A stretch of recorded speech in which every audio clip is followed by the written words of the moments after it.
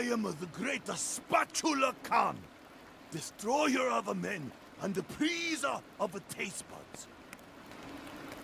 I was greatest chef on Pandora until the weenie Emperor rose to power.